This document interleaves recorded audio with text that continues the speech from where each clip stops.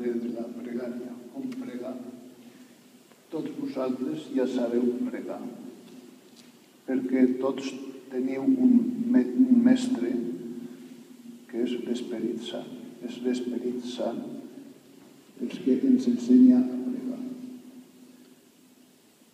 És l'Esperit Sant que amb gemecs inefables prega en vosaltres. Amb tot, pensant en la pregària, potser caldria tenir en compte aquell relat dels pares del desert, un principiant de vida espiritual va anar al mestre, a l'ancià, que és el més important en la vida espiritual. I aquell ancià, que portava molts anys de pregària en el desert, el va dir, més eh, important i el més difícil de tot és pregar. I com? És més difícil. I sí, perquè quan vols començar a pregar, aleshores venen tots els pensaments i distraccions. No sé, això tots tenim, tenim experiència, no? De que quan volem viure una trobada, un encontre amb Déu, fem temps de silenci pues, comença eh, les tentacions que deien els pares del desert. Les tentacions.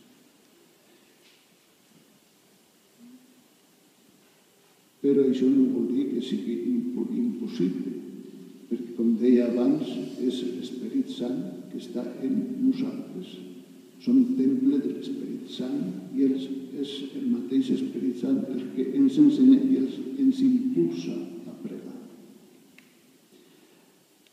Ara bé, jo crec que nosaltres sí que necessitem tenir en compte algunes coses per facilitar aquesta pregària de l'Esperit Sant en nosaltres. Jo subrayaria tres paraules que es poden ajudar i que penso que caldria tenir en compte, tenim que tenir en compte sempre a l'hora de fer la nostra pregària.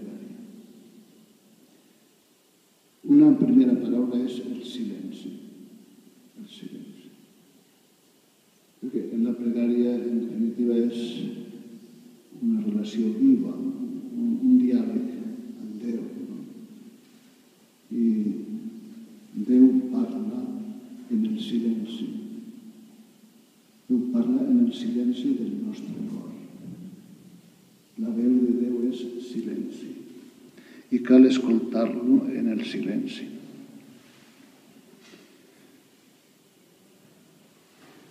És veritat que és molt difícil. El silenci exterior sí, és més fàcil. Ara aquí començat, al principi hi havia un silenci. Però tots eh, eh, poden recordar ara, quan ha començat la pregària, doncs, potser molts nosaltres pues, comença a venir amb altres idees o de, eh, de imaginació, el que deia el pare del desert, no? que quan uno comença a intentar viure la pregària venen altres pensaments. I aquí cal l'esforç. Eh? A acostumar-nos a fer aquest esforç d'un silenci interior. Un silenci interior. I crec que això eh, cal posar un, un esforç. Eh? Perquè és el camí per sintonitzar amb aquest Déu que ens parla des del silenci. I una altra paraula de l'Escritura, cal esperar en silenci la salvació de Déu. Déu que ens salva, eh? cal esperar-lo en el silenci.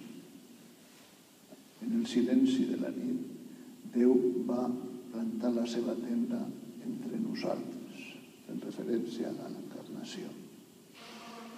Molt important aquest esforç del silenci.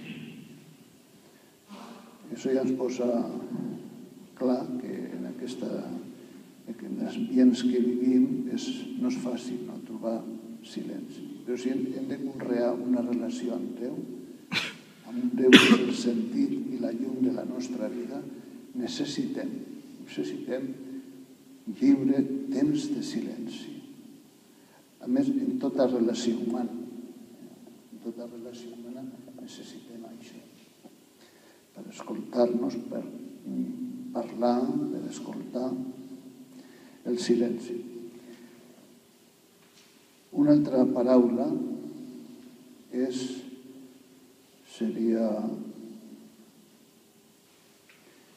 seria la respiració. La respiració. Què hem de respirar? Jo diria que podria respirar la paraula de Déu, la paraula de Déu. En Joan Crisòstom diu que la pregària és la, la respiració de l'ànima, la respiració de l'ànima. Però quan jo respiro, naturalment respiro l'aire. Que alguns tenen aquesta tècnica, que l'esperit sant és, es, es relaciona amb eh, el buf de, de Déu, eh, l'aire de Déu. Eh, bueno, és aspirar com si jo eh, aspirés el, aquest esperit de vida i al llançar fora l'aire és com jo em torno cap fora. No?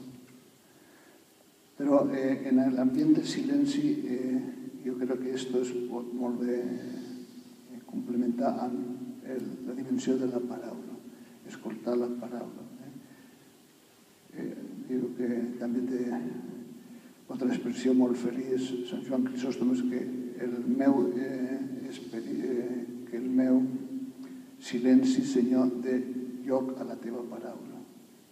Cal respirar la paraula de Déu, respirar la paraula de Déu i ajudar a que el nostre cor guardi aquesta paraula. Eso nos ayuda a respirar interiormente, a assolir vida en el nostre cor. Assolir vida en el nostre cor. I una tercera paraula seria el desig. El desig. Quan jo eh, en el silenci aspiro a aquesta paraula i la guardo en el cor, Déu no passa en pa per la nostra vida. Ja diu un profeta eh, a diu que vol ve, veure a Déu. Ningú pot veure'l i continuar en vida. O sigui, quan nosaltres ens trobem en Déu, que el com de la nostra vida mor. No es pot veure a Déu i continuar vivint què és el que mor en nosaltres? Tot allò que és contrari a Déu. És, en aquest sentit és també una, un, signe de la meva trobada amb Déu. Sigui, quelcom en mi està morint i de, aquí neix, emergeix un desig, que és el desig que estaria en la línia de l'Evangeli que hem escoltat, un desig que em porta a fer de la, de la meva vida un servei, un servei. És el, el donar la vida des d'esta llum, des d'esta força que em ve de Déu.